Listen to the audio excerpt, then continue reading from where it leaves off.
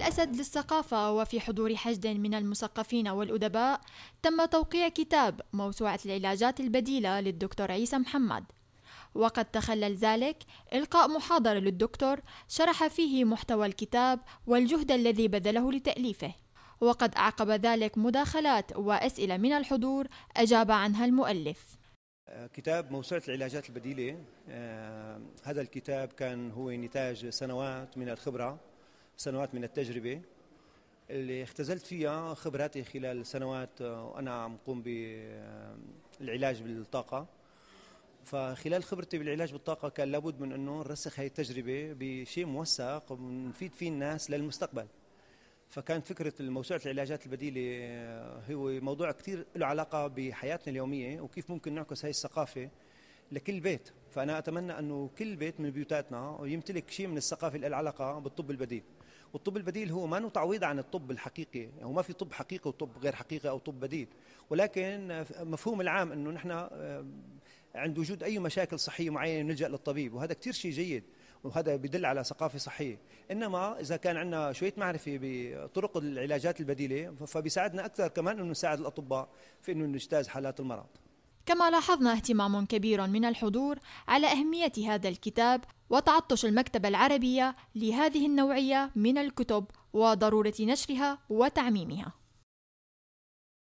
المحاضرة كانت كتير قيمة.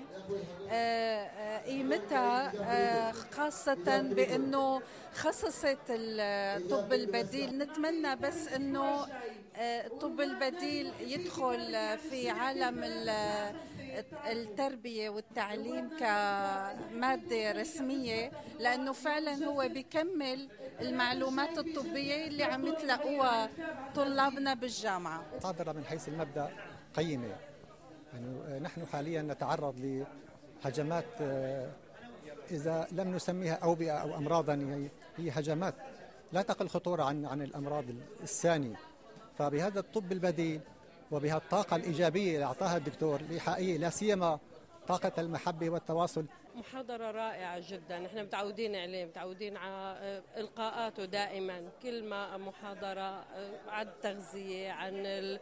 يعني توعية توعية للناس. نحن بحاجة جدا لهيك محاضرات لحتى آه، نغتني دائما بهيك وعي بيلزمنا الطب البديل. والطب البديل أنا برأيي هو طب ما مكمل هو طب أساسي مثل ما حكي أحد المحاضرين.